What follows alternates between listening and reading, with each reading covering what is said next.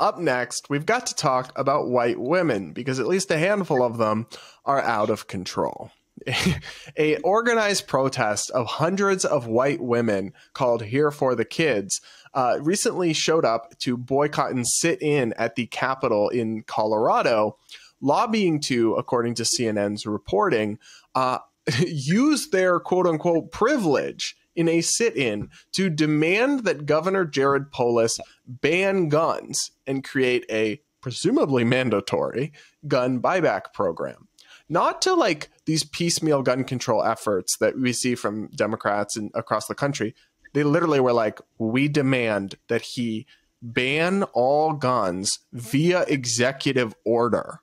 And of course, the governor responded that that is not constitutional. But they wanted to uh, Here for the Kids is a movement created after a mass shooting in Nashville uh, in March that includes uh, it calls for primarily white women to peacefully sit in until Polis, who is the governor, um, signs an executive order banning guns. It was founded by two women of color, including Saira Rao of Internet infamy, who is South Asian American, and Tina Strawn, who is black both are mothers. And Strawn told CNN the movement calls for white women to be at the forefront of the sit in because we know what happens when we show up with demands. We're always the ones whose bodies are in the most danger and at the most risk. So it appealed to me very much that this was actually a time where we are asking black folks and other marginalized and vulnerable communities to sit this one out and allow the white women and their privileged bodies, their privilege and their power to show up. It's time for them to show up. And of course, the movement has garnered support from the entertainment industry, including white actresses Amy Schumer, Michelle Watkins, and Lake Bell. Um, look, yikes, is all I have to say. I mean, I'm I am a white woman, but I have to admit, white women are increasingly becoming a menace in our society, and I, I anticipate we're one step away from these people like taking off their shirts and like sitting in the Capitol. I, I what's your plan? You're going to take your Karen energy and harass people until they violate the Constitution, and then it's going to go through the courts and get thrown out anyways. Like you, I, I can't stand activists who don't even take the time to understand basic public policy, rule of law, and how to do things and what's within like the actual uh, potential for you to achieve when it comes to how you want to move things forward in the country. This is just they're asshats. I mean, they look like clowns. It's it's so ridiculous. This isn't how you get things done. You don't have realistic policy goals in mind. And boy, you want to talk about privilege?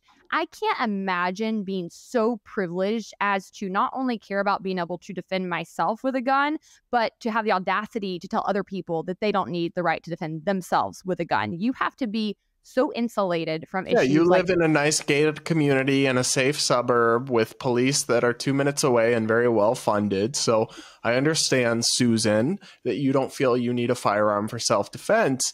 Um, but I also find this whole thing so racially divisive. Like, oh, white women need to stand up and do their part and use their privileged bodies and all this nonsense. It's like uh, all these these uh, these women of color could have protested. Nothing would have happened to them either. Gun control protests happen all the time peacefully. Uh, the the governor is literally a Democrat. I mean, he's not gonna arrest them or punish them or anything. It's just the whole thing is so silly and nonsensical and absurd um, especially because they don't even actually believe that it will work. So Saira Rao, who is one of the people, admitted in this CNN article, state legislation does not work. Why? Because guns can cross state lines. You can print guns on 3D printers. State legislation is not working. It's just not working. It doesn't matter what it is.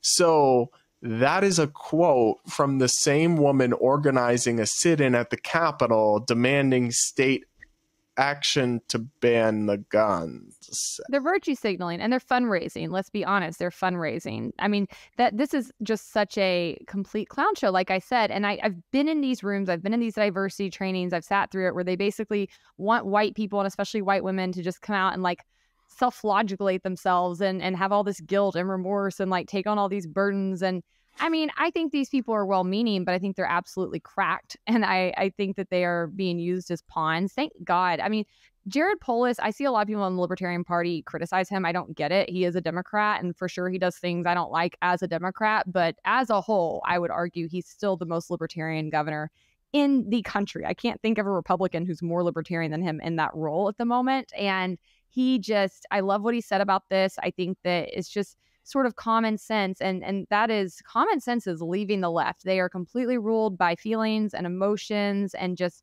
PR stunts versus actually trying to engage in meaningful policy reform, having conversations. You know, not that I in any way condone this or want to see this happen, but the reality is if they were smarter, they probably could get more gun control done in the country because I think there are a number of people in the middle and on the right who would agree to things like red red flag laws and and things of that nature. Again, I don't support that at all. Just talking strategy here. Um, but if you were to go about this in a smarter way, I think you could get things like that done, especially in purple states like Colorado. Um, but they they don't actually intend to get things done. Is what I'm left with. Is is they just really aren't that's not the end goal because if it was, you'd be doing things much differently.